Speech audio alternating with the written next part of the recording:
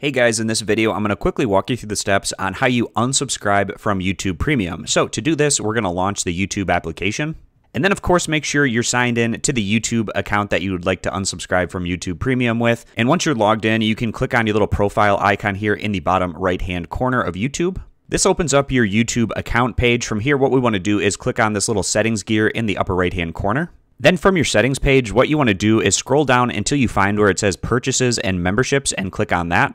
And you'll find your YouTube premium membership in your membership and channels area. So from here, we can click on YouTube premium. And then you have some different options in this area with your YouTube premium membership. So if you'd like to just pause it and you can pause it up to six months and resume anytime, you can do so right here. Otherwise, you can cancel it right in this area where it says your individual membership with this cancel button. So we're going to click on that.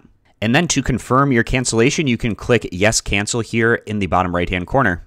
And then we can click Close. And now if we go back to our YouTube homepage, You'll see that you'll still have this YouTube premium logo here at the top, and this will continue to be here until your current billing cycle is over. At that point, it will just switch back over to regular YouTube, but this is where you can confirm whether or not you're still subscribed to YouTube Premium and whether your current billing cycle has expired or not. So I hope this video is helpful going through how you can cancel YouTube Premium. I appreciate you guys stopping by.